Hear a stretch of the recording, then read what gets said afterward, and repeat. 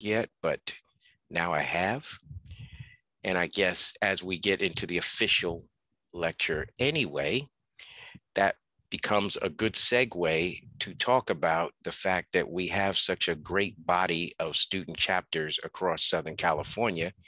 I'm going to start things out by just letting Dara Lynn, um, one of the SoCal NOMA's chapter leaders, um, talk about the organization and this. So take it away, Dara. Yeah, of course. Thanks for that. So hi, I'm Dara. I'm filling in for Khan who normally does these announcements, so please bear with me. Um, I'm the head of the lecture series committee, and good evening. Um, just wanted to thank everyone for joining us for the ninth lecture in the SoCal NOMA lecture series. Um, we're excited to join El Camino tonight to present Mark Graham as who's already been presented, I suppose. Um, as you guys already know, this lecture series is a collective effort to raise the voices of Black, Indigenous, and people of color um, and so SoCal NOMA student chapters have prepared a series of lectures across these nine participating schools of architecture to highlight and celebrate the work and achievements of designers of color. Um, so through this, we invite respected guests and NOMAS members across SoCal to these talks. And together we hope to inspire and empower to continue to be voices of the future of architecture. And so just to touch on a few um, SoCal NOMA events that are coming up tomorrow night, if you'll join us on the SoCal NOMA Discord to view uh, so-called Architect to the Stars, Paul Revere Williams. This is part of a series of events that has been taking place. There will be another one next Wednesday. Um, then on Saturday, we have actually the 10th and final lecture of the lecture series, which will be Susan Gillespie, um, as hosted by ELEC. And then on June 20th, our fourth annual student exposition and career fair will, will take place. And then finally on July 10th, the Project Pipeline Summer Camp, um, this is the 12th year running, will begin. And of course, looking far into the future, um, the 50th annual National Conference and Student Design Competition will be taking place in Detroit, and this is in October. So that's kind of a rundown of what we got going on all the way into next academic year. But now I'll pass it back to Ruben to introduce Mark. Well, thank you, Dara. So as she stated, you know, I get all of this information funneled to me. I am the faculty advisor for uh, ECC's NOMAS chapter, but certainly we invite all to be involved in all the diverse things. As she said, um, there's lectures that are featured by the different schools, and we're at a great opportunity where you can plug into all of them. And that's what we invite you to, to do. So um, without further ado, I want to kind of move into the focus here. Mark Graham, uh, I'm going to let him fully give you his uh, his rundown credentials and what he is, but I'll just speak to I've known Mark a long, long time. We we actually went to different schools. I went to SC, he went to Cal Poly Pomona, but I saw him across the way at one point at some sort of uh, tour that both schools were doing, and like, hey.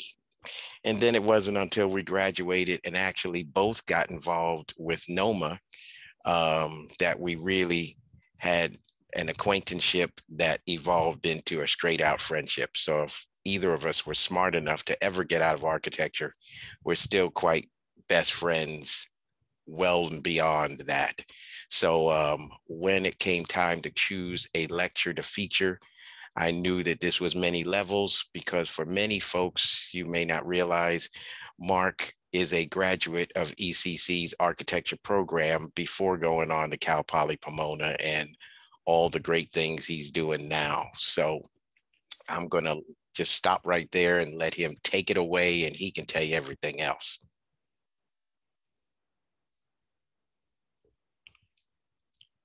Just got to unmute yourself there, Mark. All right. Well, uh, good every. And, and you can, can take. Yes, we can, and you can take over the screen whenever you're ready. Okay, so let me see if I can uh, pull this up here real quick here.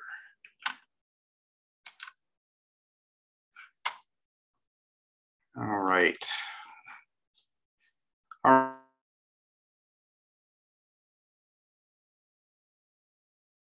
All right.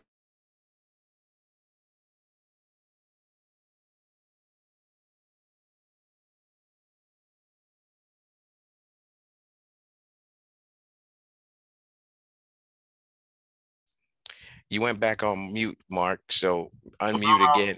Now, now, now? now I can hear you and try and share again. Okay, so I'm gonna try it one more time here. Let's see if we can do this here again.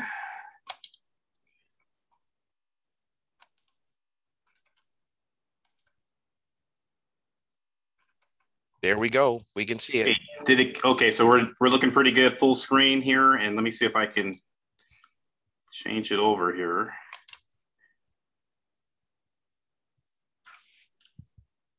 All right, can you see that folks? Yes, we can. I think what's happening, it might be showing me, let me see if I can get the, uh, Preview out of there. yeah, because it's actually showing, I think, the other one. I'm gonna do this one more time. So just hang tight for a quick sec. And let me see if I can get the other one to work.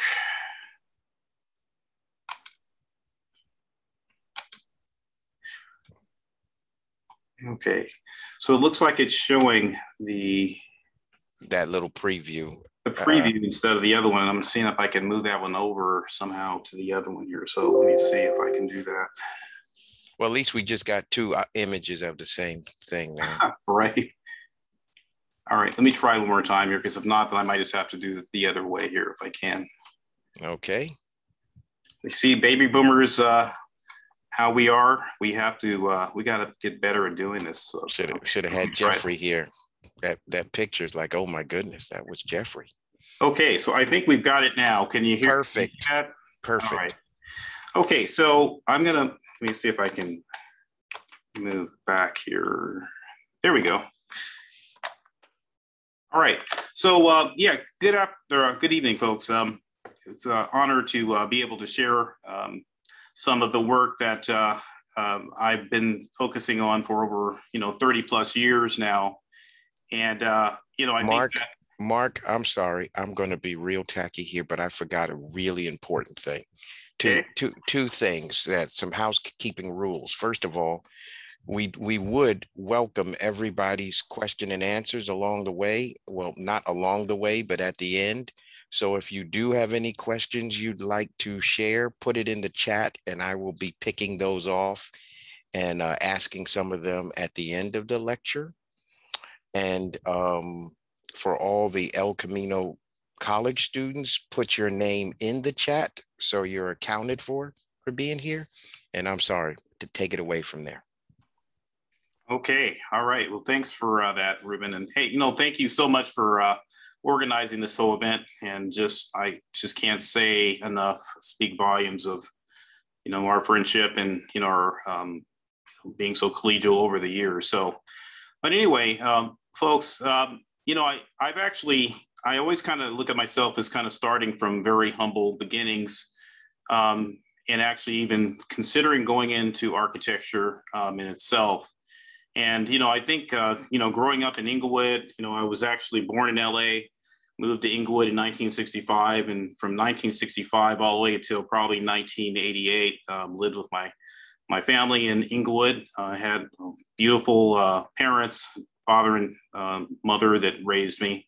And I think that really helped quite a bit just in kind of moving along in direction and all that. So I think, you know, what I wanted to do is kind of start off with, you know, some of the early years of uh, where I started and, you know, like going through the Inglewood School District and uh, mainly um, at that time, you know, I guess, you know, running track and, and basically in music.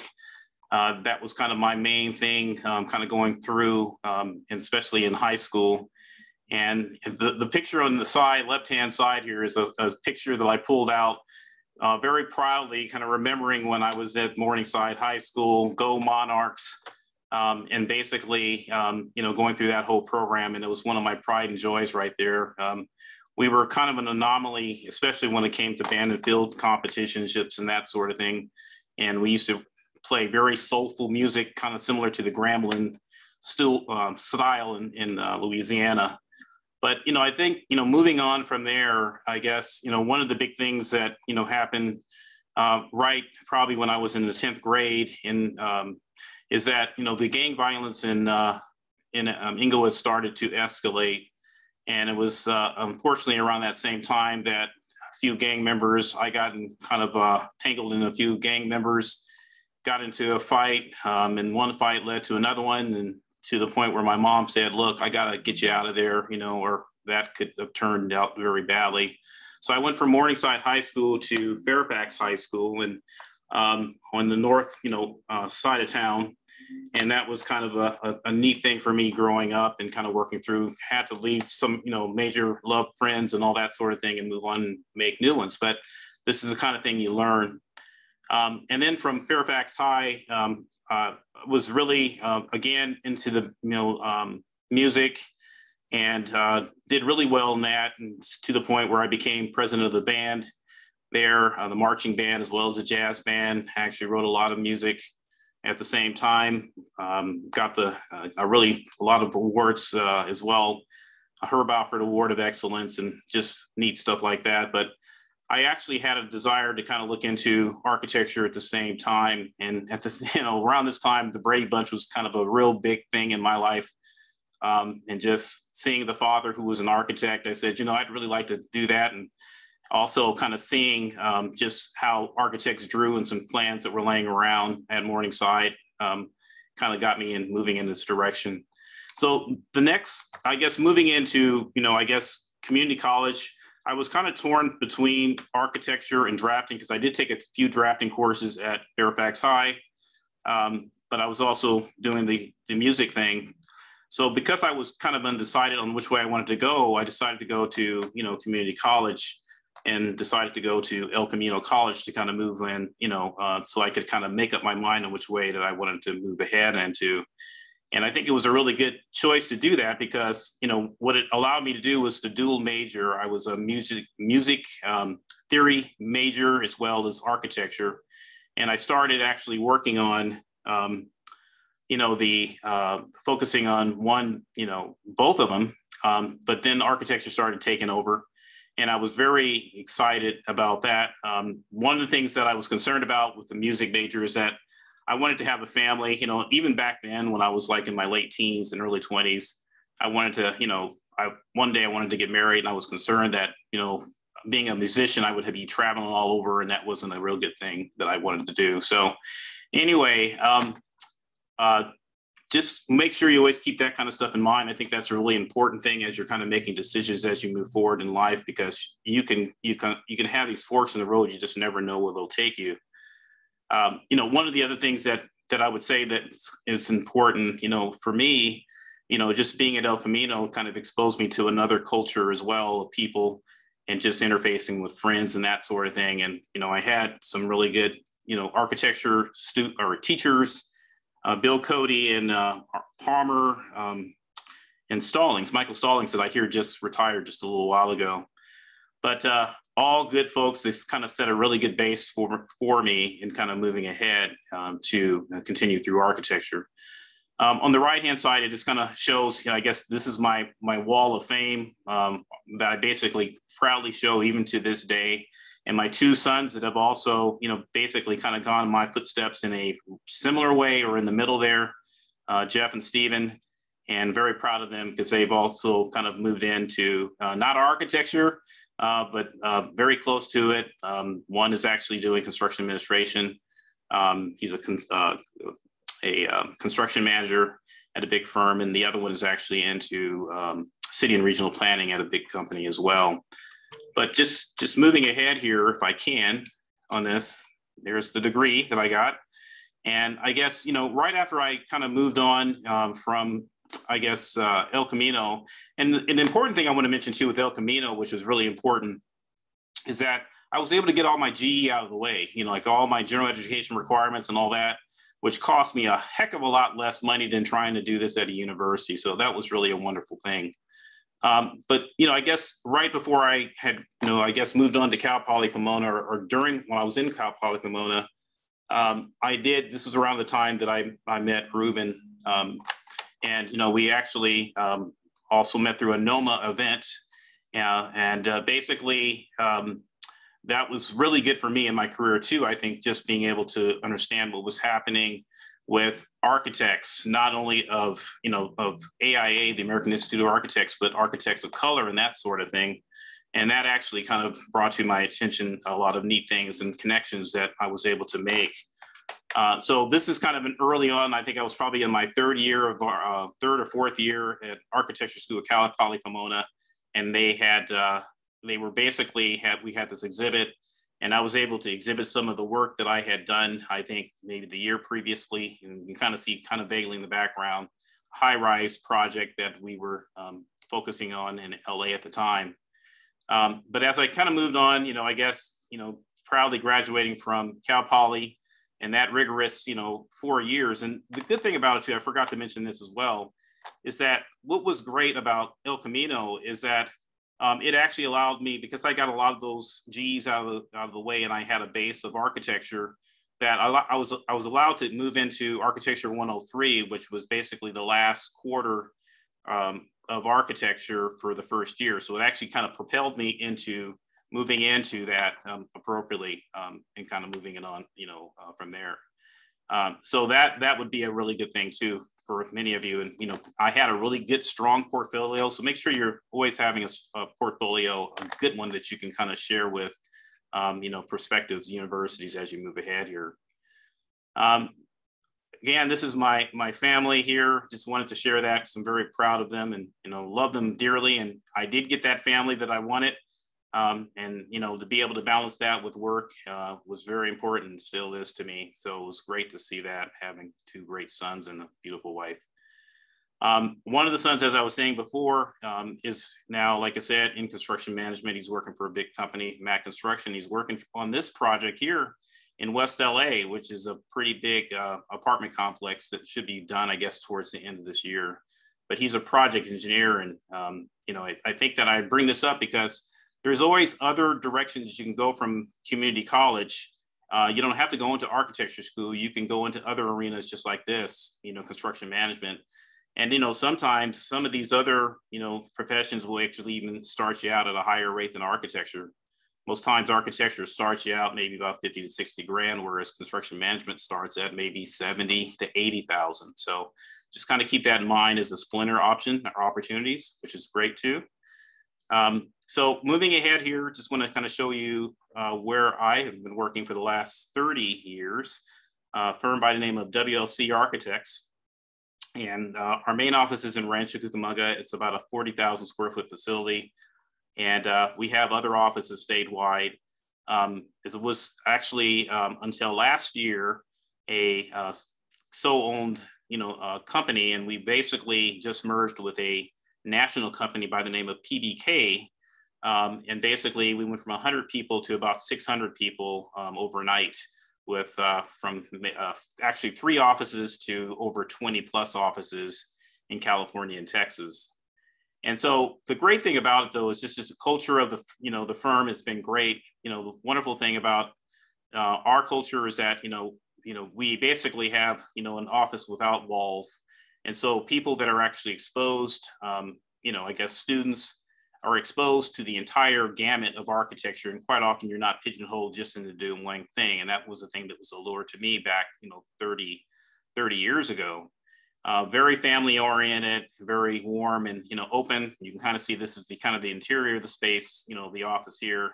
And this is my studio here, which I share with another principal who actually has an office on the other end of it, uh, which um, you know, it works really well, but very, uh, you know, like I said, it's kind of like a Google type uh, uh, atmosphere where um, basically we work hard, but we have lots of uh, fun together as well. And uh, so, you know, as you can kind of see here, you know, celebrating people's, you know, birthdays and just, you know, barbecues and all that sort of thing.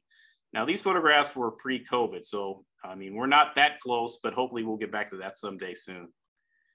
Um, this is kind of the makeup of the of the uh, office right now, or offices.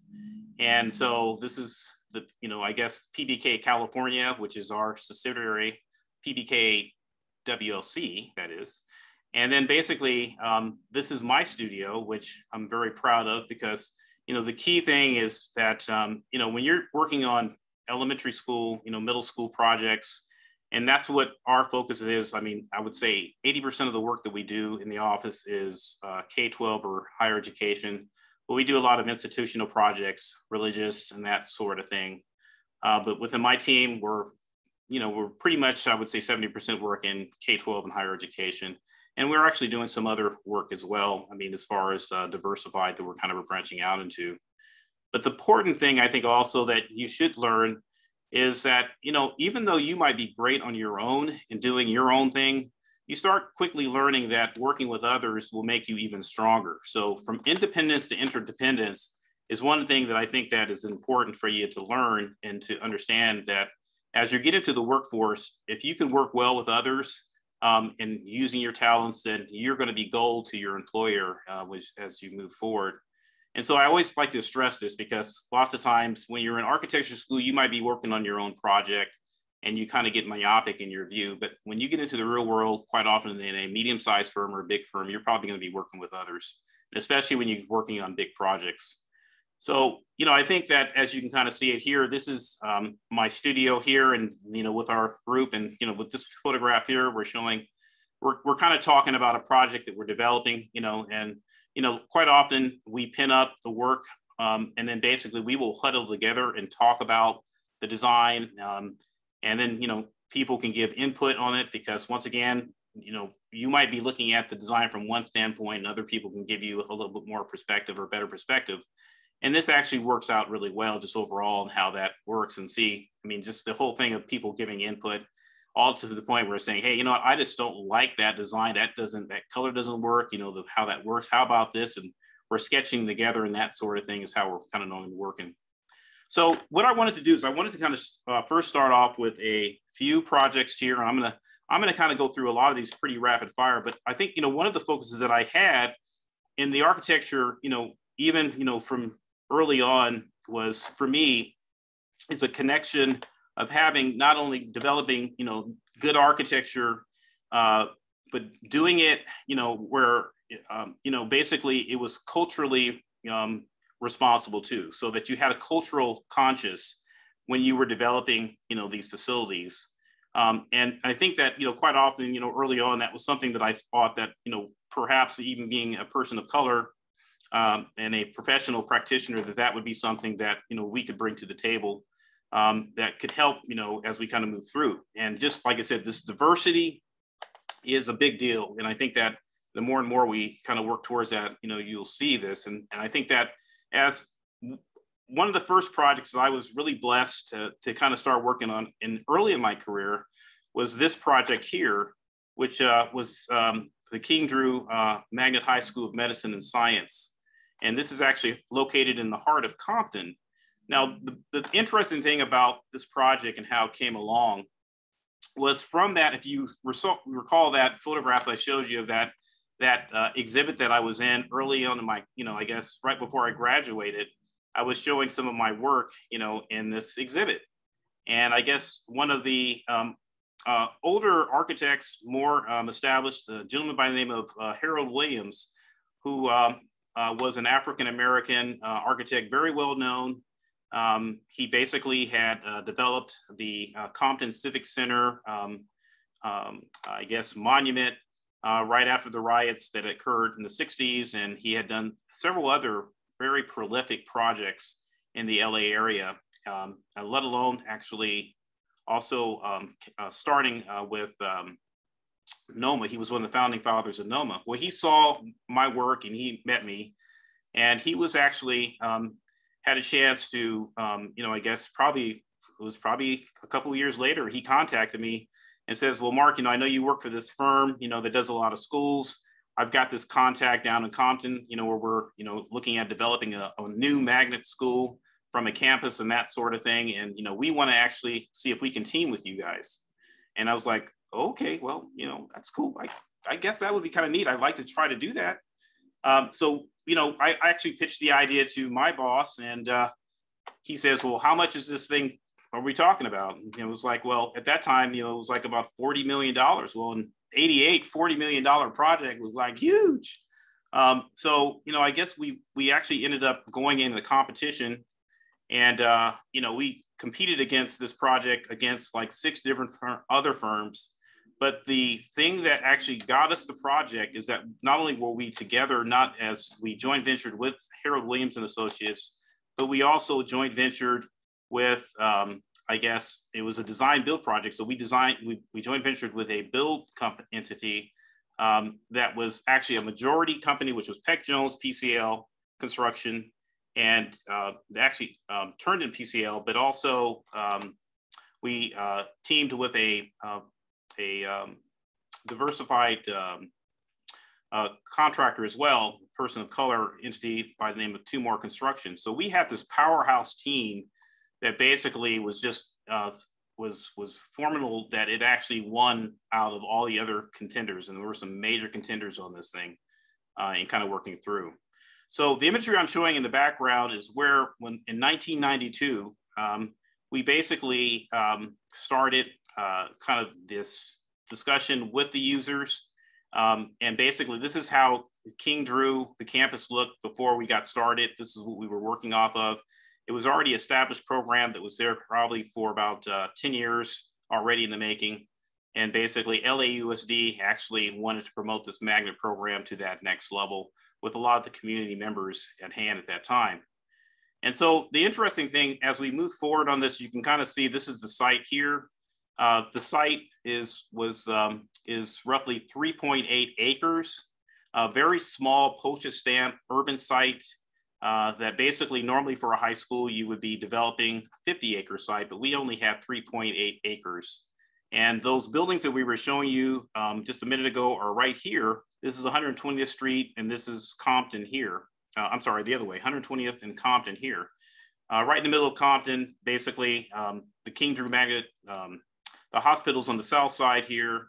We had residential on the west side. Um, the Drew University is on this side here. And so we were actually tasked with developing this 1,800 student, uh, 250,000 square foot building uh, on this small parcel. So here we, we, we, start moving ahead with, you know, developing um, series of different schemes. Um, and many of the schemes that we developed, you know, we were focusing on how these, you know, the different components could work together. Um, and, and also not only from a functional standpoint of what the client wanted, as, you know, like you can see the academic portion here, the building, multi-purpose, have to put a parking structure in there because we just didn't have enough room to put a parking lot gymnasium, you know, and outdoor area and that sort of thing. But we came up with a series of different, you know, schemes. And I guess by the time we kind of moved on here, we actually kind of moved into this scheme here that basically, um, you know, was kind of the winning scheme that uh, the client liked. And the reason why this kind of, they liked this scheme was because um, it basically did all the things and more that they were looking for it basically had the academic core here at the front of the site here. Um, and basically um, the gymnasium was off to its own, the parking structure, lecture hall. But the, one of the big things that was important is that um, they it had a core in the middle that when students came to the school, they were actually in another environment because basically it was surrounded, the building surrounded this central core in the middle. So basically, when they came through this entryway here, it was like them coming into a different world, literally. And that was the idea is that they had a safe haven where they could actually come and not have to worry about any of the issues that were happening at the time. At that time in the 92, uh, there was the riots that were occurring, you know, that we had from Rodney King. Um, we had a lot of gang violence where people were getting shot, you know, by just walking down the street and that sort of thing. So when having an environment where basically you could actually uh, protect the students and not them not have to worry about that was a really big deal. And so off we went, you know, moving ahead and developing this, this project. And literally you can kind of see, uh, this was kind of the layout and site plan as we were kind of moving through preliminary design, a massing model that we had actually created right up front from, you know, museum board and that sort of thing, and some sections that we cut to show how these different levels could work because, you know, again, with the small of an area, we have to make the best use of the space and kind of working it. We even had a rooftop sports deck, you know, because it just didn't have a lot of space to put a track and field and all that sort of thing. Uh, so the floor plans, as we kind of continued to move it into what we call the design development phase, we started developing the different spaces, the classroom wing and different shapes. And based on the functionality of that and how that worked, um, it was very important so that the students would stay together, but they could actually cross pollinate between the platforms and that sort of thing. Um, so moving ahead here, you know, we actually started doing renderings. You can kind of see these are some of the initial renderings that we did of the overall school. The idea also beyond the exterior was that we would uh, work through two different things. And we wanted to really promote the, the focus of the students that had already established a really wonderful program, but it was this collegiate atmosphere that we were developing. And there was two items as far as the imagery on the outside of the building was to have the brick that actually represented the Ivy League, you know, school and the neighboring, you know, uh, Charles Drew University. And then basically to have the white portions of the building kind of growing out of it. And that was like the technology piece of, you know, that, that represented, you know, the future and moving forward and that sort of thing. And so that's kind of how we came up with the exterior and how we developed it that way. The other part of it too, again, to actually, you know, pull, you know, the culture back into it in the namesake, King and Drew, was actually developed um, where, you know, Martin Luther King and Dr. Charles Drew, who was basically the inventor of the blood uh, plasma process, being that this was a medical magnet, the namesakes were very important and that, you know, there was a desire to have that somehow integrated into the building for which basically uh, we actually created a relief on the corner, right in the corner of 120 of Compton. Um, it was a concrete panel relief that was actually created by one of the local artists, Tina Allen, as you can see here in the corner. But that was also an, another layer that we tied into it to try to make sure we had, you know, you know, pieces uh, that would show a connection to the community. As we kind of continued working through it, you can kind of see me on the right-hand side, a lot younger than I am now. Um, but basically, you know, again, it was just an awesome opportunity for me to experience and to be working through this and, and developing this project with, you know, a team of two or three other designers that were actually developing the project at the time and going back and forth with the district and, and also the users and, and showing how the project could work. Um, so that was really an exciting time. So from there, you know, we basically got the drawings approved. Uh, we basically um, had a groundbreaking. You can kind of see the people in the background. Um, and basically off we went and starting building the building. And so we can kind of just see, you know, the progress of the construction to be able to, you know, to live through that and to see how the progression, it took roughly about two and a half years to build this facility at a cost of, like I said, about $47.650 million at the time, which would have been triple that amount now that we're talking about. But, you know, I think that, you know, the thing that also was important that you didn't learn too much in architecture school was about money, but very quickly you learn about money and trying to stay within budgets, especially when you're working with a design build team like this. And these were some of the people that, you know, we, that helped us along the way. Harold Williams is this gentleman right here, very distinguished gentleman here. And this was my boss, uh, Bob Simons at the time, and then students. But this was the dedication ceremony, which was just a very proud day for the project overall, ribbon cutting and all that. Uh, the first principal of the school, Dr. Roy, and you know people in the community, um, Dorothy Rochelle, and uh, you know basically Sweet Alice Harris were like major um, people that were a force behind making this this project happen. So you can kind of see the, the finished product here. You know, I guess this is the main courtyard off to the left-hand side. On this, this the piece here is that uh, center courtyard, or I guess the center lobby that basically kind of, you know, as you enter into the main space of the building, um, you actually come into this space and basically um, you check in, but it was very secure, but at the same time, very welcoming and that sort of thing. This is the front entry coming into the school uh, from 120th Street and that courtyard um, in the middle that actually works for so many different reasons and just people just love hanging out in it. And you know you can kind of see the different events that occur and that sort of thing but there's a lot of areas where people can gather and have kind of breakout sessions to work together and that sort of thing. And it's just been over the years kind of a wonderful space.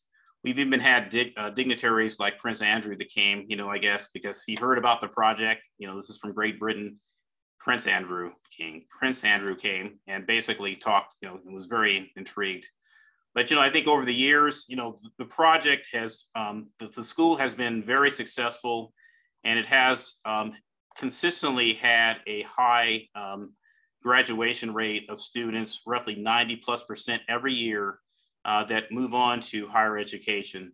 and they were just celebrating their 40th. They just had their event last year. So anyway, you know, as as we have these type of projects, you know, we we keep moving ahead to other projects, and I'm going to go through these very quick. Here's another high school, similar kind of a you know idea. This was actually uh, developed uh, around 2008 within my team, uh, and this is in Adelanto in the high desert in Victorville, and this was an area that basically um, you know just Joshua trees and you know kind of this kind of mid desert climate and that sort of thing. So, you know, quite often when we develop our projects, we're looking at where we're, you know, the context plays a big role in how we develop it and how the projects look. So, you know, unlike King Drew, we had a 50 acre site uh, that we had to develop here. And so you can kind of see, I mean, if you kind of look over here, there's a really small little car. So it gives you an idea of how much bigger this site is than King Drew. That's a car, you know, where I'm pointing to right in this point. 60, about 55 acres that we had to do to develop this site. But nevertheless, the same concepts of, you know, kind of how you move about doing that are very similar. And how do you, you know, create that culture, a place where the culture has already been developed around the neighborhood? And how do you integrate that into the design and that sort of thing and kind of working through? And so I think as you can kind of see, if I kind of go back one slide here, this courtyard that I'm showing here is this here. This is the heart of that campus. And and that's one of the things that's kind of a consistent theme that we do with a lot of our schools is we try to create that heart where you know students will feel you know comfortable and prideful you know of where they are and that sort of thing. And even to the point where not only are we developing the architecture you know massing and that sort of thing but we're also developing colors as well. And you know with a lot of like the rooftops here that we're covering mechanical equipment because we have the mountains in the background we actually had a lot of undulating forms that we created on the roof to kind of emulate that, you know, that context. But then drilling down deeper, we also were looking at, well, culturally, how could we actually integrate some of the school spirit and colors that would work for them? And so, you know, one of the things that we started doing was to, you know, come up with a, you know, besides the design, was coming up with a color scheme and actually themed, you know, what was what was actually important to this community. And the Saints um, was the logo um, mascot that was created, and that was based on a football team that they had in the neighborhood that they were very proud of. Everybody was very proud of the Saints because they were very um, successful in their endeavors, you know, in, in, playing games. So that was the name that was actually um, identified. And then we actually came up with the colors for this whole thing, the fleur de lis, you can kind of see here. But we basically um, integrated that into the school colors and the sense of school pride, and that was integrated all throughout the entire facility. We also started working on digital wall graphics that actually were, you know, were mindful of what the community actually was even before, you know, like a lot of the community got developed. And there was a lot of, you know, um, almond groves and that sort of thing. Sunkist was up there and that's, you know, kind of doing the orchards and, and, and basically, so we actually started integrating that also into the school so that, you know, students would have a feeling of culture and what was happening there as well. And then we also, you know, when we got to sports, because sports is normally a big deal in schools, we started developing what we, we see here in, in uh, a lot of the graphics, like in the sports, the people that basically came before them sports, they could show like how you could, they could be inspired to, to move and be excellent and that sort of thing. But these graphics were all throughout the entire facility, you know, it just blended, you know, the, even the stadium, the bleachers, that color, you can see it there and so on and so forth. Um, so a background view of it there. Um, Compton High School, um, I'll move on to the next one here, is another project that uh, we developed coming back to the Compton area.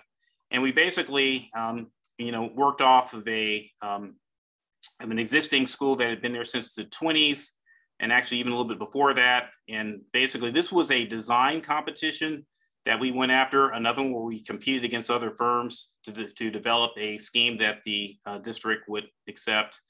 And I guess they boiled it down to, I think, about four different firms. We were one of four that basically actually put this together.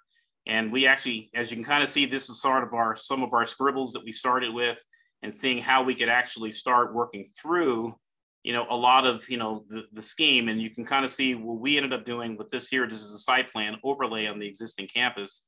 We basically came up with the idea, which was, you know, to have a campus that would embrace the community and these are these arms pretty much, which is, which is the classroom wings, were kind of indicative of how you would have two arms kind of like reaching out and embracing the community. But at the same time, it actually worked as a dual kind of a focus of pointing to the Civic Center, which was over here, and basically over, you know, I guess on the south side, Compton Unified School District, um, you know, their district office and a lot of focus. And so we were focusing on that. And then again, having this heart of the school in the middle, working off of that appropriately. Uh, so another view of that, looking at it this way here, um, and I'm just going to flip through these very quickly so you can kind of see it. But, you know, so there's a sense of place and that sort of thing. So when you do come in, you enter, again, you're coming into a new world. And these schools actually do work as cultural centers, especially not only for the students, but also quite often for the community. So we came up with this, you can kind of see this is one of the wings that kind of embraced into the community. And basically, um, this is kind of like a kind of a fly through. You can kind of see um, how we digitally um, kind of created this. And this is a program that, you know, you folks should learn, which is Lumion or Rhino or some of these other programs like that. When you get out of school, you should have that knowledge moving into community college or university. Uh, we actually at the ends here had come up with areas where you know the community could come together. These cultural nodes that basically we were pulling from the existing campus and basically integrating some of these as time capsules or you know areas where people could actually gather and actually make sure that the history of that school had not been forgotten. And this is like the main classroom administration building that you know is still there, but it was like a remnant of you know the 20s. Um, uh, a lot of the other buildings were built after that, uh, but seemed like this was a very important building because there were so many generations of people that actually had gone through this school. And so, you know, what we ended up doing because of, you know, there, there was a desire to, you know, to bulldoze this building. Uh, we basically did come up with an idea of how we could recreate that building, but in a more modern sense. And this is what you're seeing here and kind of working through it. So it was in the same location as the old building, but we kind of used our, you know, design to kind of start from there and kind of, you know, move out from there. A lot of the imagery when you would come into the main lobby, you would have this big jumbotron screen that we thought that could be, you know, where a lot of the students or alumni that came from the school basically um, could be displayed so that there also could be this history of, you know, what had happened, you know, people that had gone there or come to the school before them. They could inspire them in their, you know, their path and that sort of thing, as you can kind of see here, you know, moving forward. Um, I guess the other thing that's more, really important too, and this this is uh, 2018, um, 2017 when we were developing this. You know, one of the things that is coming on board now is this next generation learning, and basically the next generation learning is like where you're not just work learning in one classroom. Um, you're actually expanding into. You might have a classroom that expands into different areas or where you can break out and have smaller group study and that sort of thing. And we were exploring that sort of thing and kind of working through and classrooms that are without walls so that basically even though like on this left hand side you know you're going behind you're going in these doors and there's classrooms behind here but you could actually have areas that you know students and you could have rooms or gatherings or maybe multiple classrooms could get together in areas like this within that building wing. Um, and then the outside as we were showing it here was uh, again areas where it was more of a college campus feel that basically they could um, you know students could learn, they could eat, you know, they could you know get together and have great you know feel um, you know time to learn and that sort of thing. And this was kind of looking back at that that crescent shaped building that we were just showing with the uh, library and moving ahead. The central quad where things could happen, you know, you have cheerleading, you know, band events that were, you know, could happen in, that um, stadium was in the back there. So I think as we kind of moved ahead here, we, um, oops, let me move ahead here. So we were we were very happy um, that we were a part of this um, effort, and unfortunately, we came in second. We didn't come in first, and that happens some guys times, guys. Um, but the thing is, is that you know that you have a chance to kind of work through it, and it makes you stronger for the next you know event. And um, I guess as we move through, you know, our careers. Um, so shortly after that project, high school, I mean project, um, another one came uh, into um, play, and this is the Del Sol High School project. And this project here is in Oxnard for Oxnard Union High School District, so about the same size as the, uh, the last two that I've shared with you. And this is a project that was within my studio that we're developing right now as we speak. And it's actually being developed on, you know, I guess about 55 acres of agricultural land right now. Um, has just been purchased. And uh, we I just bid this project about two weeks ago, and we'll be getting started on this here pretty soon as well. But basically, the whole idea of this Google Tech Campus, next generation learning, we started envisioning it this way and kind of moving it forward. And, and basically, this is how we kind of start, you know, our designs quite often from a sketch, and then we move on to these renderings. And so a lot more of a techie feel uh, but going from, you know, say this sketch here that was kind of a, a original um, rendering that we did to start looking at how we could bring the culture into the building um, in the imagery and that sort of thing of the area. And so this is kind of what you see here now in these areas, but a lot of these areas are actually being built up with homes and that sort of thing. So a lot of this will be disappeared probably in the next 20, you know, 15 years. So what we ended up doing is taking that same field imagery and seeing if we could actually integrate some of those panels onto the exterior of the building, you know, so that this would actually help in some of that because there was great pride and there still is great pride from the agrarian, you know, um, you know, past and present of this area. But one day this will mostly be gone. And so we wanted to be able to actually see how we could integrate some of that into the building as we're showing it here on the exterior. And with, you know, warm tones, um, and that sort of thing, metal panels um, and underbelly, you know, wood underbellies, you know, pieces that were reminiscent of, you know, the fields and workers working in the fields, because a lot of people have very proud heritage of that. But then in the interior, we still were looking at how we would move ahead in developing these next generation, you know, areas uh, that students could actually, you know, give them a better chance of, you know, going to that next level of education. So other things too, kind of how this works. Um, aquatics facilities, you know, we we do we've done a lot of aquatic facilities um, in the past as a firm, and this one here at Adelanto is one I showed you before. Um, we actually um, did go after a project at El Camino College. Was a design competition that uh, they wanted to replace their existing um, pool complex there uh, yeah, it was a natatorium, interior natatorium. As a matter of fact, when I was in El Camino, I actually did do some diving. I learned how to dive, um, you know, from the high dive and all that stuff, and was moving into the design, the dive, um, the dive team. So I kind of was really fond of this project and kind of going after this. But you can kind of see we were developing um, at the time when we were developing this. This was probably about five years ago we were developing it so that it would be something that would also be very sustainable, not only just a, you know, the first rate and how it worked, but we wanted to get natural light and that sort of thing to make it very porous and connected to the community. But again, unfortunately, we didn't get that project, but you know, that's okay, you know, and that's one of the things you want to learn is that every project you go after, sometimes you just don't get it, but you can learn from it. And you, you apply it to the next ones that you go after. So I think, you know, as we kind of move ahead here, these are a few other, you know, pool complexes that I was actually, you know, uh, my team was actually developing while we were building the Adelanto High School project. This was a spinoff at another sister high school campus, Silverado High School, where we did develop a another, you know, first-rate um, Olympic-size 25 meter by um, 50 yard pool complex aquatic sim facility. And this aquatic facility had these shade structures that basically were very sustainable because it actually had solar thermal solar panels that warm the water and that sort of thing to keep it very energy efficient.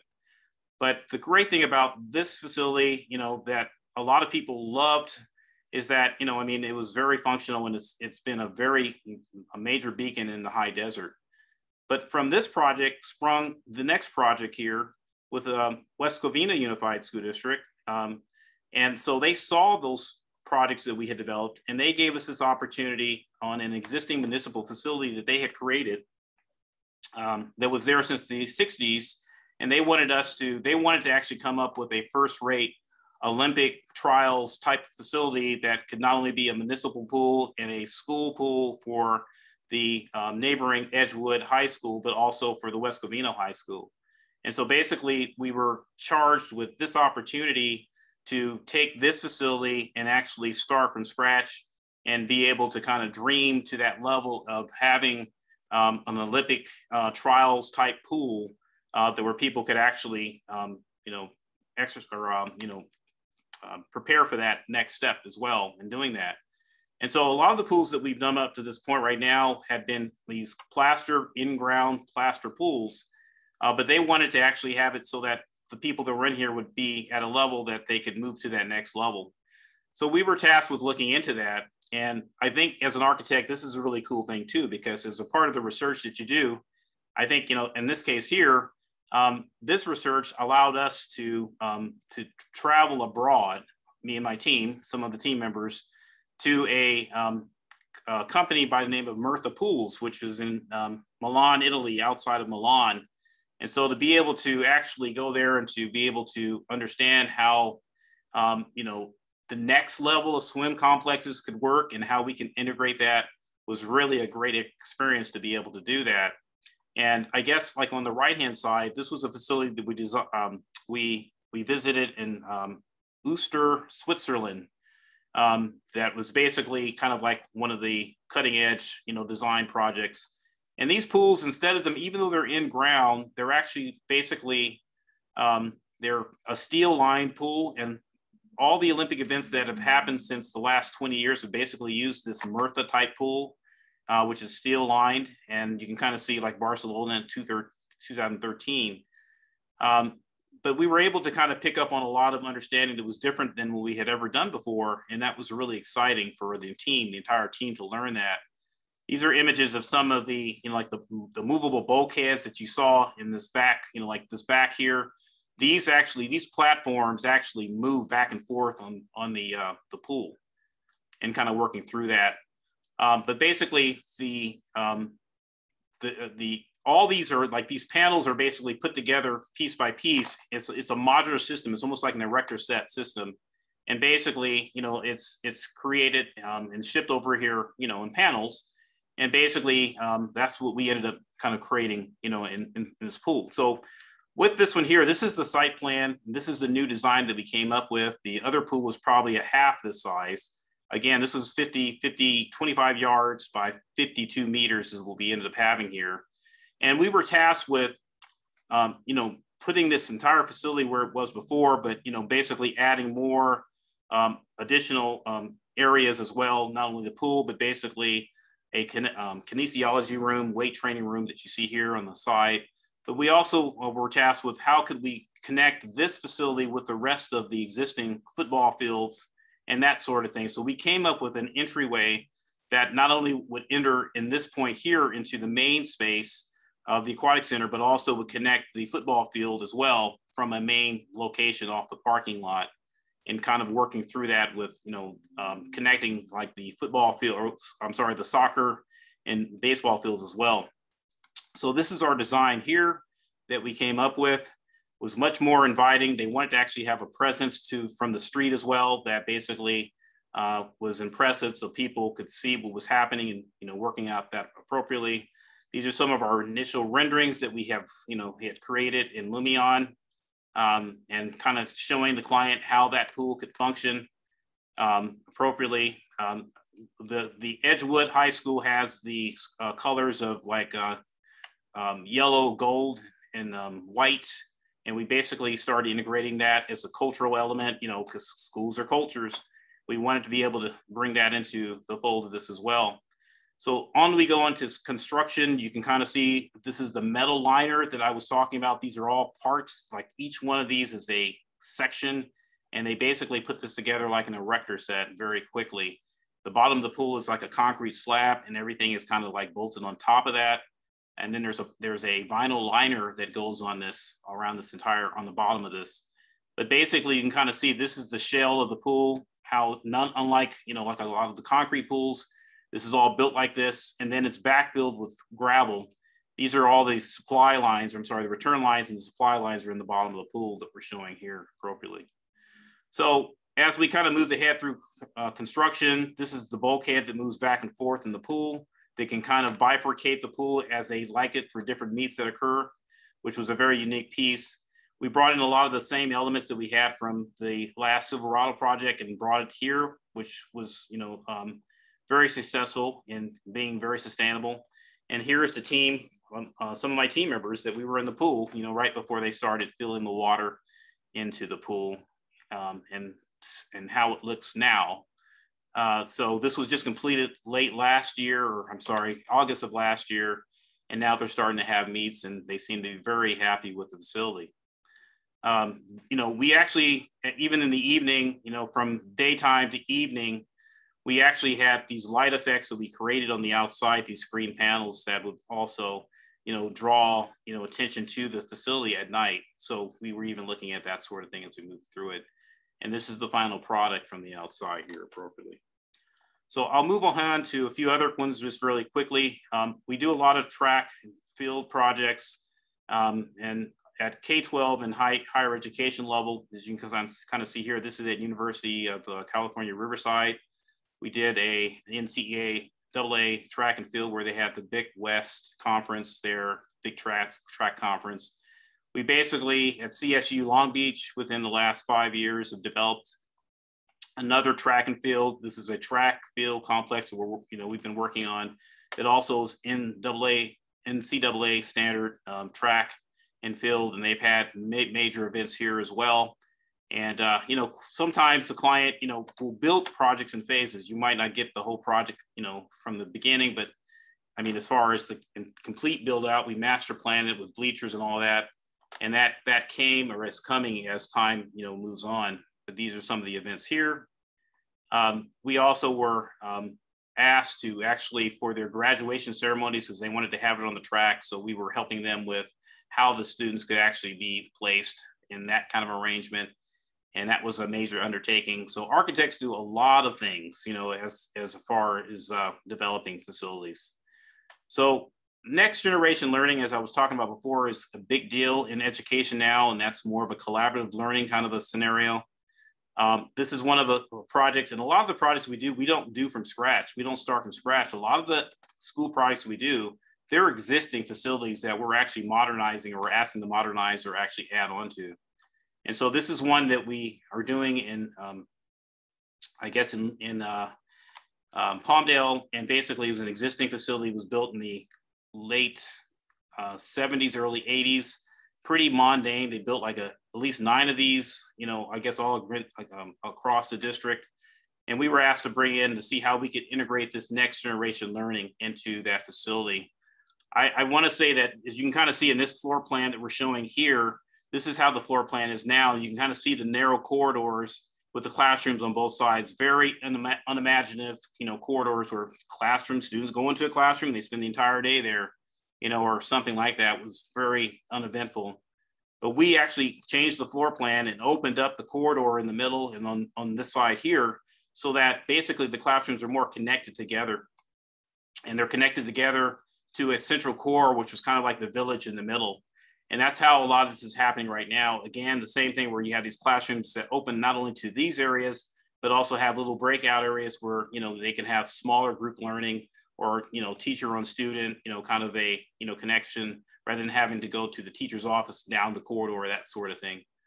So like I said, um, oh, I'm sorry. And one other thing that was important too, because of a lot of these active shooter issues that we've had, you know, recently, in this school here, the administration um, area was, you couldn't see it. The parking lot was over here and basically it was tucked away. So people couldn't really keep an eye on this. You'd have to have someone looking out here all the time. So we actually reworked the administration area to this location here so they had a, a more unobstructed view of the campus. This is where we actually put the new administration office. You can kind of see it here in this rendering the old office in you know where you came in was very dowdy looking and we developed a new fresh inviting kind of an atmosphere even with new colors.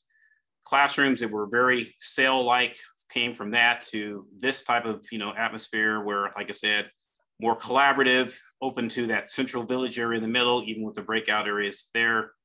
The corridors that were there before very narrow not very inviting to coming up with areas like this that were in the middle and this is how it actually turned out in the middle of it. So basically you have classrooms with operable windows and doors to get you into the classrooms, the breakout area, and you can kind of see how well this could connect together. So you have crap cross uh, platform learning and that sort of thing. Even areas where like atriums in the middle of the building that were rarely used and just kind of turned into these kind of like these pits of areas. Uh, we turned them into uh, uh, maker space areas and closed it so it would be a lot more functional as we're showing here in the actual photographs.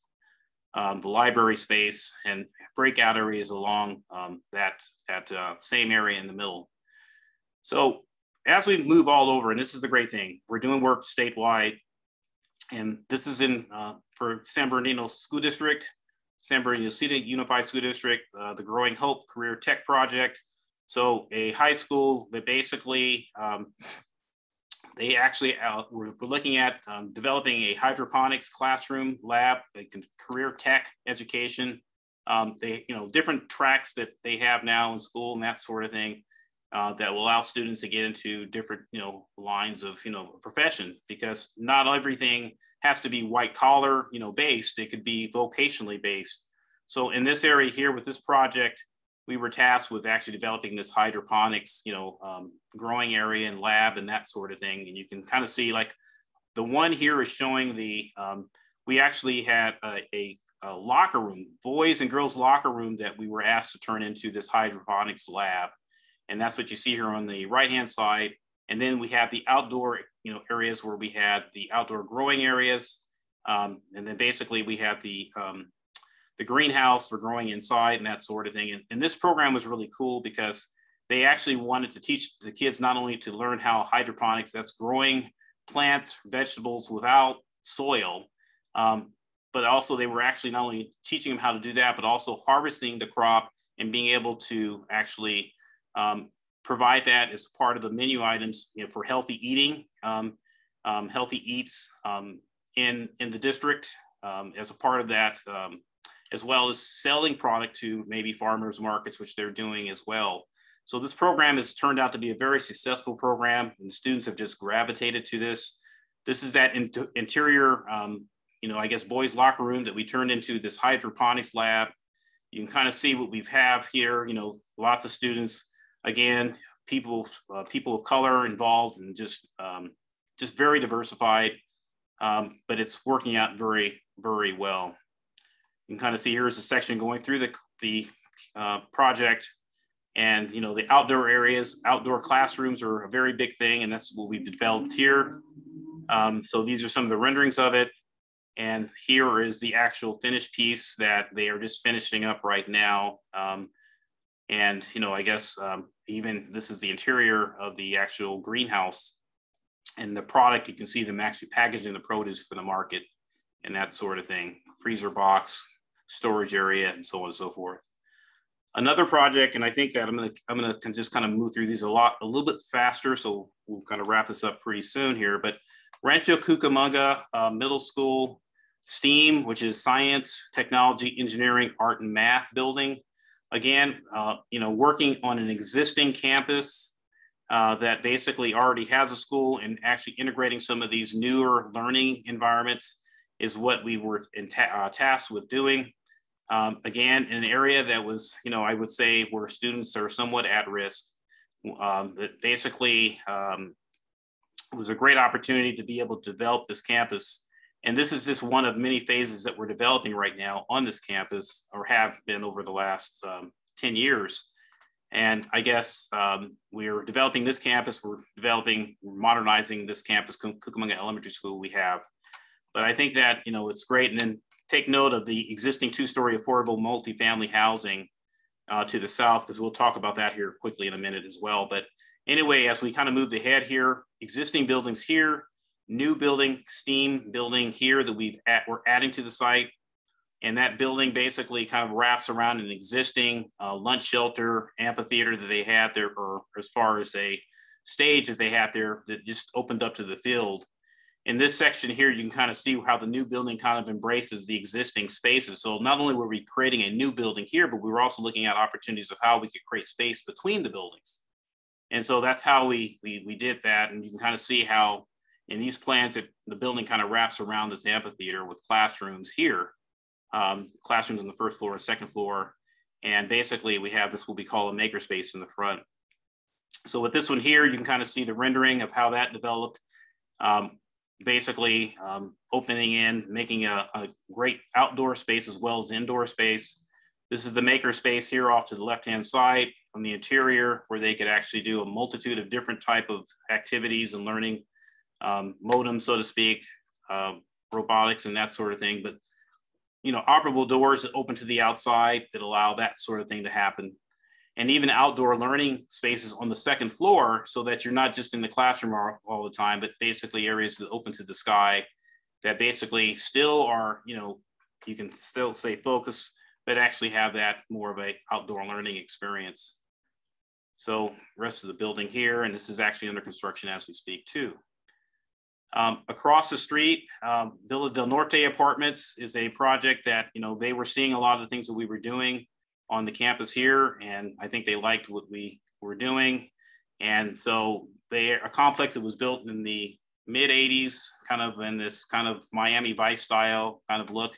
And these are actually um, assisted living, not assisted living, but I guess um, the uh, it was uh, housing that was basically um, um, I'm losing the, the, thought here, but it's basically uh, assisted cost housing, where basically uh, people that have limited incomes actually um, are able to, to actually uh, live here uh, within a, uh, um, a good lifestyle. So basically, what we uh, have done here is we were asked to just kind of come up with a new color scheme that was similar to some of the things that we were developing at the school next door.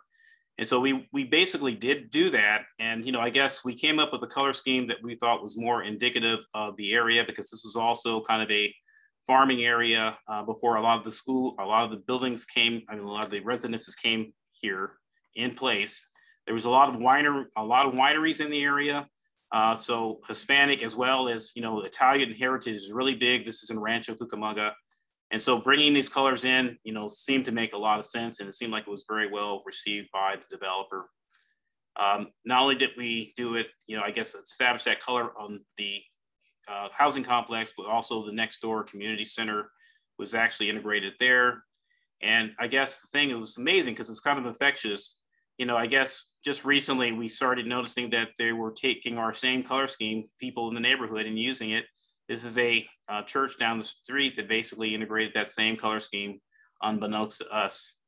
So the interior, we were also tasked with, you know, updating the community building, which was kind of like this 80s kind of a aesthetic that didn't really have a tie to the community. And we basically took it from here to this imagery here that actually was a lot more, you know, um, of the of the neighborhood and of the period and that sort of thing reminiscent of more of that winery, you know, um, kind of a feel, Italian hillside, you know, that sort of thing and what was being developed in the area before that. Um, another project, uh, Phoenix Square, moving over back over to San Bernardino, another client actually had come to us and, and was interested in developing um, uh, housing for previously incarcerated women uh, that basically were getting their, their feet back, you know, or getting back on their feet, uh, you know, from either drug abuse or some other issues that they had. And, you know, we, this, this very humble building, or I guess um, apartment building. Uh, this is in the heart of San Bernardino. That basically we were um, we were actually tasked to actually look at how we could reconstruct it and uh, you know make it into this uh, facility for these um, these wonderful women that got themselves back on their feet. And so taking that building, uh, and this when we got there, this building was all boarded up. It was basically um, people had you know were coming in and living in this building uh, that shouldn't have been there. I mean, just it was just a really bad situation. I mean, when you took off the boards, the odor was just horrific coming into the space. But on a humble note, this is you know kind of moving from education to some of the other you know arenas that we do in these you know culturally is looking at how we can kind of build up the neighborhood and give you know hope to you know um, folks in the neighborhood and how that can work. And so I think, oops, let me see if I can I can't go backwards. We actually came up with a design. Let me go back one more. We came up with this design to take this existing building and create this housing that needed to be, you know, there for um, this this uh, developer. Um, and this, uh, shoot, let's go back. So with this here, with this developer, um, and also which is neat, I think that um, the person that we're working with here, uh, who's developing this, is a uh, African American female that also was in the same circumstances and um, this is going faster, a little bit faster than I thought. But basically, she was um, able to see our vision And um, we actually continued moving ahead with the project. We took the building all the way down to the, um, the studs and built it back up. And basically this is how it looks now. And so again, you know, a, in addition to the neighborhood that was very successful, came up with a fresher, more warmer color scheme. Uh, the name of the facility is the Phoenix Square because it's the Phoenix rising out of the ashes, and that's kind of like that new start, and um, was kind of a metaphor that was actually developed by you know the developer. And uh, I guess not only that, but we actually, and this is for not only previously incarcerated women, but their children as well are there as a part of it. So we had a play area that we developed in the back, and this is the first phase of this. But we also incorporated, you know, um, an artist. There was an artist that was actually um, hired to bring in artwork from, you know, for uh, to be reminiscent of, you know, the culture of the area, and even beyond that, back to Egypt, uh, which is a, a very um, heavily um, black and brown community. So from that, right now we're working with the same developer on this another another project right now. It's called the Bebop Center, um, which is the Time for Change organization. And basically, this is another one of these these facilities that you know basically have been abandoned. And this project, this this facility was uh, you know basically taken over by the Time for Change organization um, for you know this, as I call it, a new Google think tank. It's kind of like a, a Google think tank for the hood, you know, so to speak and mainly focusing on, you know, coming up with new ideas where, you know, people can come here and, and actually develop new ideas that they have, you know, um, that they might be able to develop into something that could go mainstream.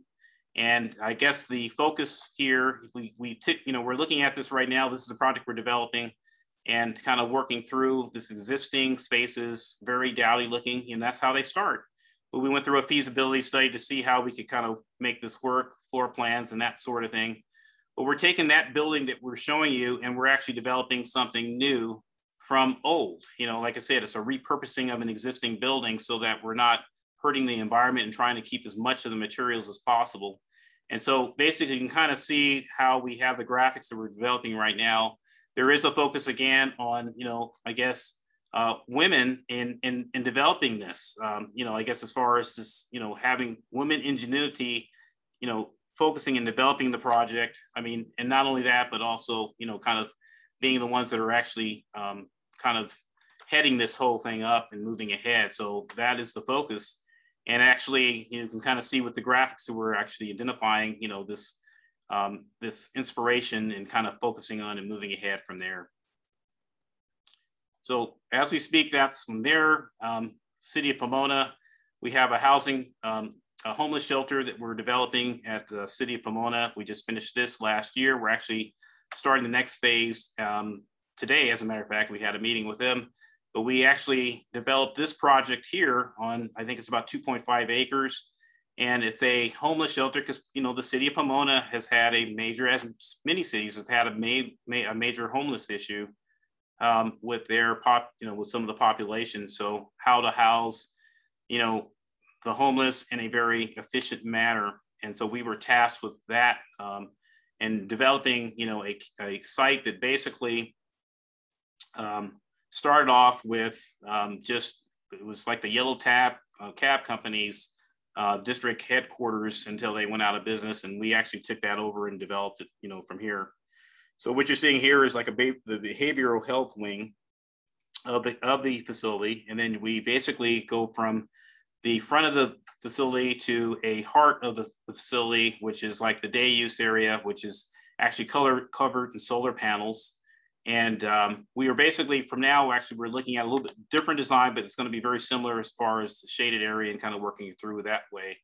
But moving through to this to actual building the facility, uh, we actually have a big tensile structure in the back where the, um, the clients live uh, and they make residence in this space, which is a very functional space. It, it goes up very quickly and, uh, and it was very cost effective. We only had about um, $8 million to work with, $8.5 million to work with to develop this whole entire facility. But this is where, you know, it is right now in development. Oops, that one right there. Um, and so, you know, kitchen, kitchen, um, and then locker room area and that sort of thing. So the last thing, I'll just get to this and I, will be wrapped up here, but I you know I think that it's really important for us as you know designers and architects of this generation to start looking at how do we nurture that next generation of designers and you know that sort of thing. And I think that you know what I would recommend, you know, some of the things that we are doing right now, there's a lot of organizations that are out there that are actually expanded even beyond what I was exposed to when I was coming through the ranks. Um, the um, Architecture, Construction, and Engineering Mentoring Group, ACE, um, is an organization that they have nationwide, and it's basically open to a lot of students um, in high school to get them exposed to architecture, construction, and engineering.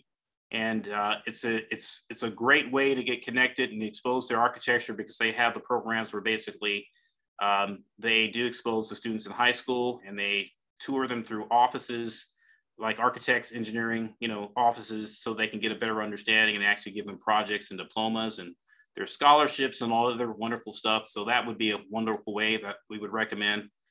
Um, the AIA students, um, American Institute of Architects students, and a lot of you probably know them and that organization, but again, wonderful organizations to get connected into so you can get exposed early in your career because uh, that is important. You don't want to be shy. You want to try to, you know, absorb as much information as you can before you start moving into that university. So you're going to have the best shot of making not only getting there, but also making it through and being successful in the workplace. Uh, Project Pipeline is NOMA, uh, uh, the National Organization of Minority Architects. We have NOMAS, of course, as, as well as you know that you folks are a part of, but also the Project Pipeline for students that are actually always starting, I guess, in middle school and onward. Um, so those programs have been really good. And like in our office, we have programs that we basically um, are actually um, nurturing this, you know, the younger generation, taking them out to sites and being exposed to the construction because to be a good architect, you've got to understand how things go together. And so it is important that, you know, we basically continue to groom and expose our, you know, I guess our interns and our, you know, our younger um, designers to these sort of things. And so this, you know, as we're showing here, we have two, I'm showing, um, you know, two um, individuals within my group right now. Uh, we have them all through company wide, but, you know, like I said, with on my team right now, we have two young ladies that basically one came from Cal Poly Pomona and the other one came from Cal Baptist University. And, you know, they, you know, trying to nurture that next generation and, and not only giving them just, you know, like a toilet room plan to draft, but how can they we can utilize their talents in a better way and focus on that. And you know, basically, we are doing that sort of thing. So much so when they were tasked a couple years back, they had just been like a year out of school or something. Uh, we had this co- this conference called the Cash Conference, the Coalition of Adequate School Housing. That's an educational conference that happens yearly up in Sacramento. And I had had the opportunity, our firm had the opportunity to develop this furniture exhibit with different materials that basically could show how you know next generation materials and learning could occur. And they were responsible for working on that whole job. Um, and it turned out very well. It's probably one of the most successful exhibits that we've had, you know, with cash um, and kind of working through that. And then from there, you know, exposing them to letting that next generation shine. And I think, you know, quite often when we start with projects, you know, lots of times the, the people that start in our office, we start, you know, you're, you're going to be starting with a, a smaller project. Uh, but quite often we like to get you exposed to take that project from beginning to end. This Barton Elementary School project is a project that we developed. Um, you know, I guess San Bernardino Unified, we have seven of these type projects that we're developing. And I'm proud to say that, you know, um, Candace and uh, Daniela actually worked on these. These are two people that are working, um, but they were able to come up with, you know, again, a very nondescript school. A lot of the schools for San Bernardino uh, City Unified look like this, but to take that school and to give it that character of the culture of the neighborhood and the, and and not only that, but also their mascot is what was actually developed. So you see that on the right hand side, you know, from that that space to this space but also functionally, there was not a front door to the school. I mean, you have to actually come up this ramp and go to the inside the campus to get to the, the administration area. We brought it around to the front area, and this actually made it more secure so that there was a single point of access into the facility. So you can kind of see, again, a lot more a lot more specific to the area, um, you know, to the school that would give them a source of pride, a new fresh color scheme, a new interior, even with colored glass and that sort of stuff was actually developed. And you're gonna see that's what's developing and actually, um, I would say, you know, just, um, you know, very um, uh, exciting and um, it's just, it's affecting the entire district because, you know, once again, we're changing and, and changing the feel of how these these uh, these spaces feel for the students and, and for the teachers as well. So anyway, folks, I'm a little long-winded, but thank you for hanging in there. And I um, will leave it at that. And I am open for questions. Well, thank you very much, Mark. It would take a half an hour to read off. I'll send you the text message of all the different thank yous that are in the text of people appreciative of your lecture here and the energy you brought and the support of your team too. Uh, that was very encouraging to a number of people, I'll say in a soundbite. So there weren't many questions, but I'll just put put them out there and let you ans answer those. Javier Munoz asked, going back to your group, other than vocalizing opinions, what other traits do you look for or desire from members of your team? Well, I would say, you know, one of the main things is um, someone who has a, you know, first off, you you should have good design talent. You know, so we're we're looking for the best and brightest, folks. We're looking for the best and brightest out of school. Um, and so when we go to, you know, recruit, and we're quite often going to the universities to recruit, like, you know, it might be anywhere from say second year to fifth year students to recruit. But quite often we're looking for the best and brightest folks to you know bring in. And so quite often it's important for us to see that they have you know a strong portfolio of work to show that they have basically you know done really well in school that sort of thing. Um, but i think you know beyond that part of it and i'm and that's why I'm, let me say this it is important that you be as competitively as possible that you can because in the real world, we're competing against projects all the time. And just like I was sharing with you, we didn't always get that project, folks, but we have to try to be the best. You have to be, um, or you might be looked over by that next entity. So one of the things we are looking for is the best and brightest that actually can show in, in, in their work. And, you know, they have good design, you know, aesthetic. But I think the other part of it is that if they have a good attitude and a good personality and are willing to work as a team, and not someone who's coming in and basically just focusing on themselves, but someone that can come in and actually work together as a team. So team, you know, that team player spirit um, is, is something that's very important uh, for us. Uh, beyond that, you know, I think that, you know, in regards to um, just, um, you know, a, a, a, a, overall knowledge, if you're going to go to a university, uh, any of the architecture schools, you're normally going to have all the criteria you're going to need to uh, be successful within our firm um, in working through that appropriately. And uh, for for everybody, um, Alitris, one of the leaders of the SoCal NOMA chapter, did put in the chat, so you may scroll up a lot of the upcoming events that you can grab from there, everyone. So look look for that. Um, and of course, an easy place to see everything is go to socalnoma.org. Um, only a couple other questions came in. Uh, Abigail De La Cruz uh, asked um, Mark, uh, can you please advise, give advice for beginner architecture students entering a competition for the first time? Um, I would say do your research. Um, if you're doing a competition, you might want to see if that competition's been developed before um, to see how people present it in that competition, in that design competition. Um, it is very important that you know your competition um, so that you can actually respond appropriately. If you haven't done your research to see how others have done theirs, you know, the winning teams in the past, and like say for instance, in the NOMA, like if you're in university um, you know, NOMA actually has a design competition that's major now, the National Organization of Minority Architects, where they have students from all over the nation competing in this competition, design competition. Um, and when I say do your research, you, you should be looking at other teams to see what how did the other winning teams kind of go about their presentations. Um, but not only that, it's, it's not only seeing how they do it, but also you do want to do your research, folks, and, and on the project type and understanding that project type, understanding that community, because a lot of the design uh, competitions that you're going to do are going to be items where you are looking at context, you are looking at community, you are looking at a lot of those those kind of discussions that I was sharing with you today.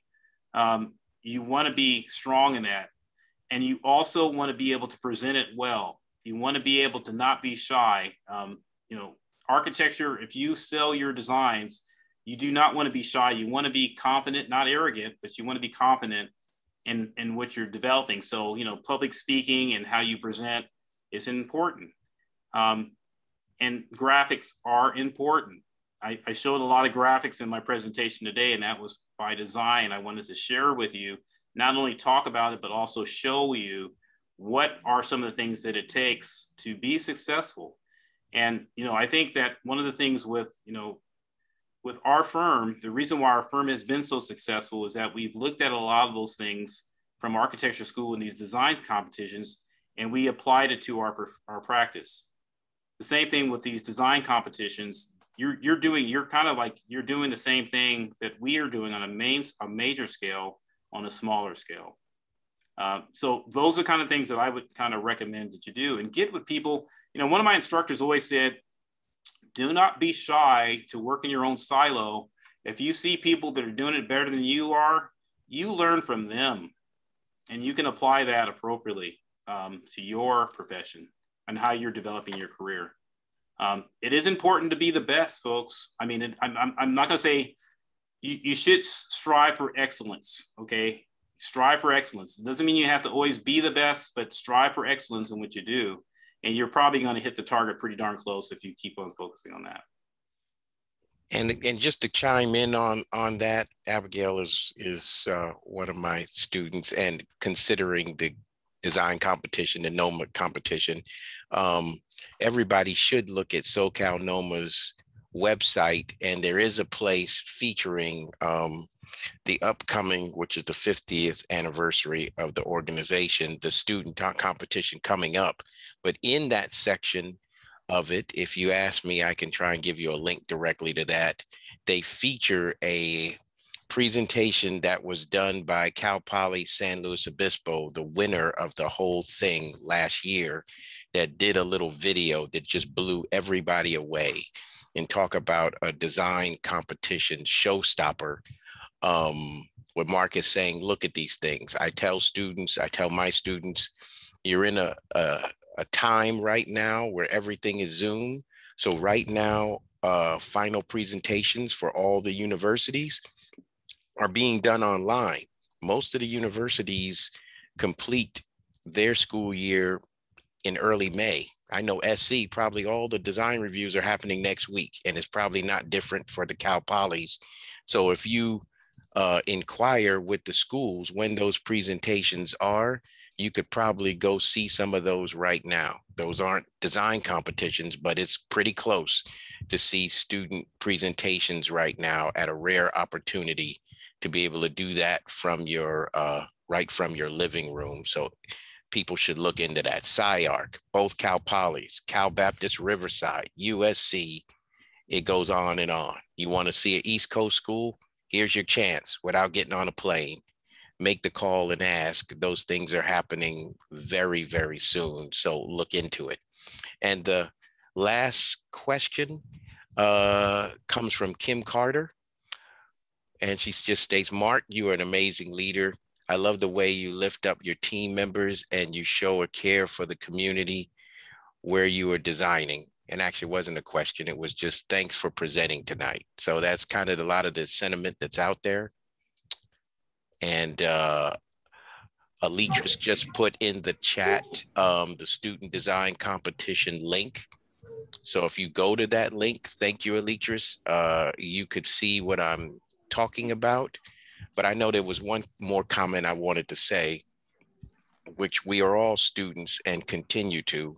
When Mark went after that Compton High School project, he told me about it, and it was a presentation that they had to make to uh, Compton Unified School District. So myself and another fellow designer took it upon ourselves to go to that, and we got to see what Mark couldn't see, because as a presenter, you can't go sit in on other presenters' projects. We sat and watched all four presentations by that shortlisted group and really learned a lot about presentations and got to see body language of the of the school board and hear the questions they were asking and what the architects had to answer and all i'm saying is the same thing to what abigail is is asking about by going and seeing those it was very eye-opening as a practitioner to hear where those teams and i could see where they missed the mark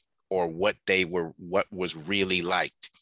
And so don't wait till you get in a competition to look at competitions because when you're in it you're pigeonholed into your area you will not be able to see the other teams because it's an unfair advantage. So the only time you could see the whole thing is not to be in the game. So check it out. And that was the first time i had ever gone to one in that size. It was it was eye-opening. You know, Ruben, I, I will mention that too because that was a eye-opening experience for us because where we where we missed the mark on that project is that we were just out marketed.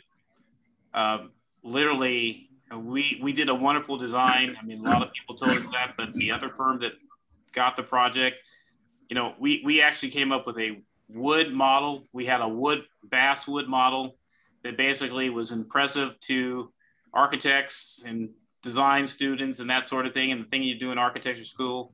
Um, and it was basically um, probably a quarter of the size of the winning firms model.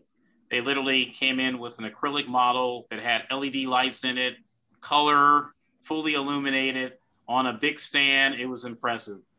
And so, like I said, I mean, that's what I'm saying. You know, I mean, it's it's just trying to do as much, you know, understanding of you know of that and it's not only just your design but you know the other thing is is is to get to know your who who are you how who are you marketing to who's your audience that was an important thing to learn when that one too is that you know i think the other firm did a much better job of of getting out there and, and getting to know the board members and seeing what they wanted and that sort of thing and so it's not always about just what you're doing at your desk or in your group but understanding who is actually going to be you know, like reviewing your work. That's huge. So yeah, I guess it was that was a twofold thing. It was two things. The community was very much paying attention to that, but the community didn't make the choice. It was the school board. So you know your audience, but you also know who's making the decisions, and that is not always the same. So you do have to pay attention to all of those things. But I won't won't delay. We're we're a little over time, but I, I hope everybody's enjoyed this. And if there's any other questions for a nominal fee, I'll pass them on to Mark later. but um, uh, thanks everybody for coming. We always end our lecture with the possibility of everyone turning on their cameras. Yes, there we go. can see you you have been um, listening to him all night, and I think it's only fair for him to see um, see you guys. We also love to take our little screenshot. And while we're waiting for folks to turn on their cameras and um, prepare to be on camera, guess I have to open mine up too. Yeah, maybe we'll we'll we'll stop the share. Uh, yes. Yes. I'll stop the share there and take it back. Um, stop share. There we go, and get a full screen of everybody. Oh, I see Candace there, one of uh, Mark's uh, team members um, and NOMA member. It's great. Yes, we love to do this, and we want to say thank you to Mark um, and um, for this wonderful presentation. We really appreciate you sharing with the students um, But also we want to um, congratulate El Camino for joining the um, actually joining the lecture series um, and you know getting their chapter together and forming and preparing to be a part of uh, the student design competition for the first time. We're very, very excited to welcome you guys. Um, Dara, I hope you're getting the screenshots. Um, we also want to say that Dara and her team at Cal Poly San Luis Obispo were the winners of the design competition last year. So they do want to stay on the throne, but we invite all of you to try to knock them off. Um, we also had two other schools to place in the finals, um, which was Woodbury University, who took third place, and um, Cal Baptist, which for the second time um, in their very short history made it to um, the winner's circle and they got an honorable mention. And I got to jump in and make you understand the magnitude of that. There were about 44 entries into yes. that from across the country. So Southern Cal killed it. yes, we did. We pretty much took, uh, it was a sweep.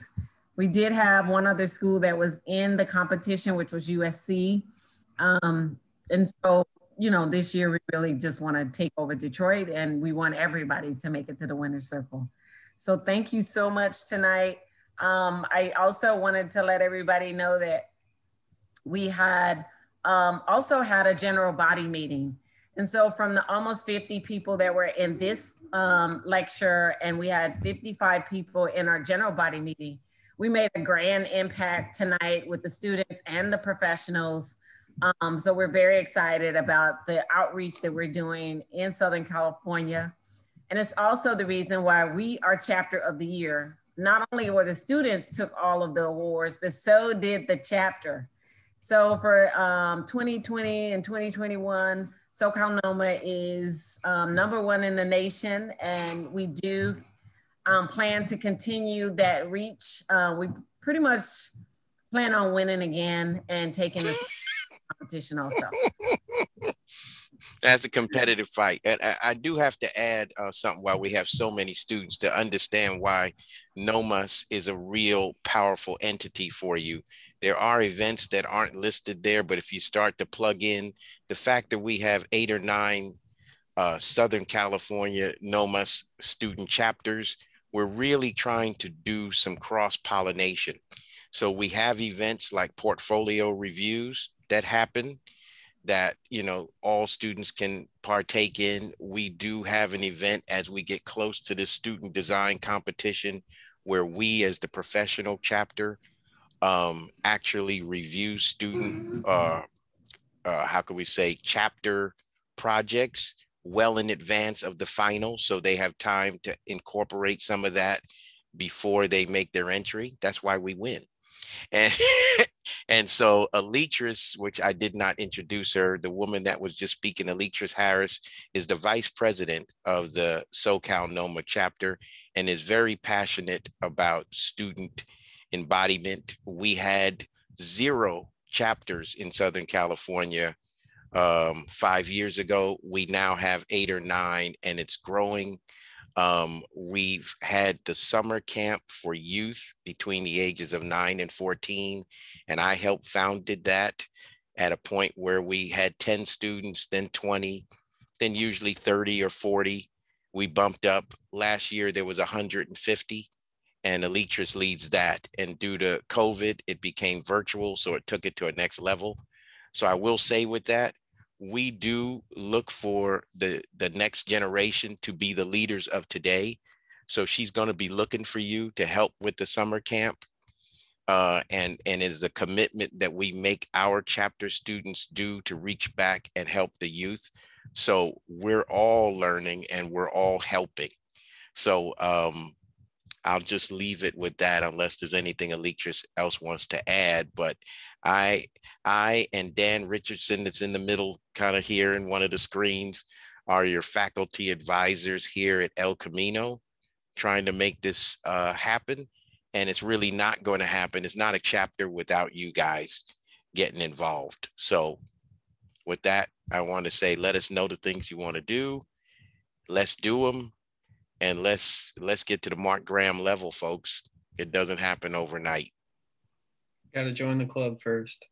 That's it. Got to join the club. Drew is is our chapter president, um, and we have a group of leaders that are the group, and so we really welcome others to get involved. We're going to not only have another lecture next week, um, we will have a lecture on the 20th. We're planning to have a tour of an architectural firm maybe before the semester is out. And um, like I said, we really need to make sure we cross pollinate with the rest of the student chapters. Don't work in a bubble. That's what Mark is trying to show you.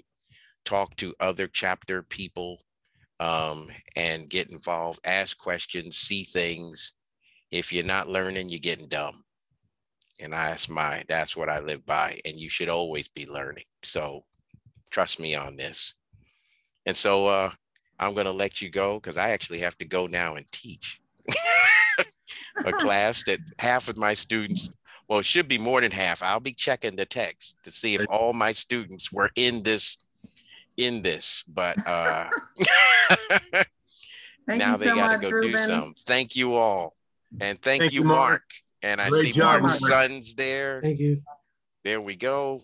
Thanks. Thank a, you. Thanks a lot. Thank you.